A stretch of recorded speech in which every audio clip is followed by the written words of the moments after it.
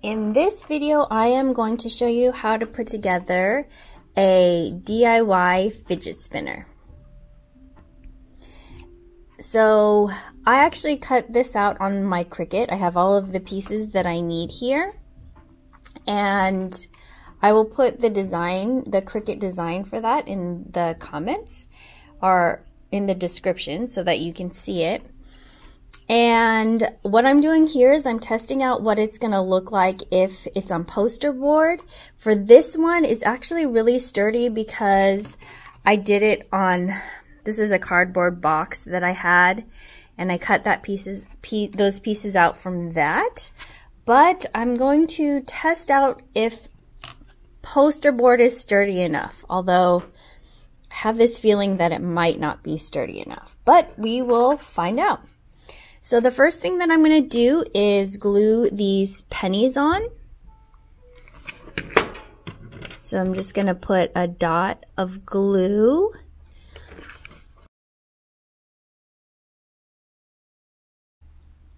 So once you have your first three pennies on, then, well, let's see. I do have sticker, a sticker for this, so I'm going to just do my best to line this up. And actually, think the best thing to do here is to use transfer paper and line it up as nicely as you possibly can.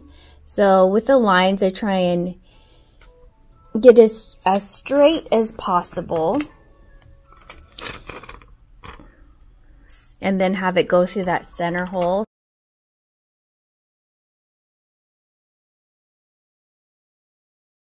I have a feeling maybe I didn't line the holes up very nicely, but that's okay. I can take my toothpick and make sure that the hole is big enough. So your hole, the sticker and the poster board should line up so that now if I test this, this, this should spin freely. Okay.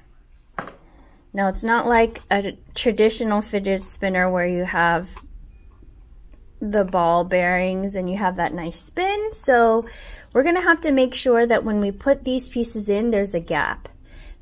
So now I'm going to make sure that I cut these pieces at the right size. So I, this should fit pretty snugly on here because we are going to take a glue gun and glue those pieces together. So let me just cut the point off of this. So I have one side. Okay. Now when I glue this on right here, I'm going to get this other circular piece ready so that I can cover it. So I'll set it down and then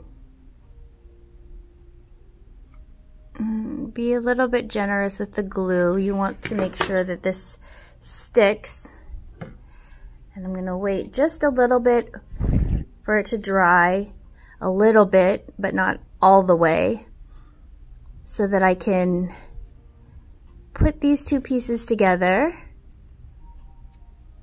And I want to make sure that it does stay. Because this needs to stick to the toothpick. Okay. There we go. And then I will thread this through and then we want this to spin freely. And then we want to leave a little bit of a gap here. So I'm going to actually mark with the top of my scissors where I want to cut this. I'm to cut it. If I leave a little bit of a gap, okay, mark with my scissors and then go in and then cut.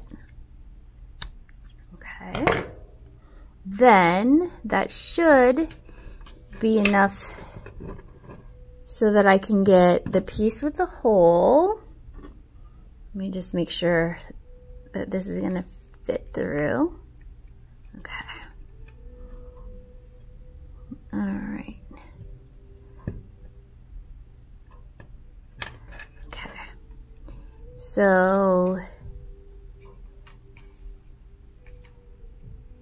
Make sure that it, it's going to spin nicely. I maybe didn't cut off enough. I'm going to just cut off just a little bit more. Be careful that you don't cut yourself. Okay, there you go. I still have a gap, but I think that I can still do my piece of glue here. Here's my glue gun. And if you just want to do that glue dot and not put it, put this blank circle over, you can. I think for holding purposes, I like having this on there, but sometimes it makes the toothpick not stick very well. So let's see. There we go. And then that should dry soon. And then you should be able to spin it freely. Here, let me hold it this way. And then you have your fidget spinner. Now in the beginning of the video, I told you that this one is made out of poster board. It's a lot thinner, a little bit more flimsy. But actually, now that I'm spinning it, it works actually pretty nicely. It is nice to have the sturdier, slightly thicker piece of cardboard um, it feels a little bit heavier and a little bit better, but I think that this poster board actually does just fine as a fidget spinner. So go ahead and grab whatever types of materials you have access to and try it out yourself. Good luck and have fun!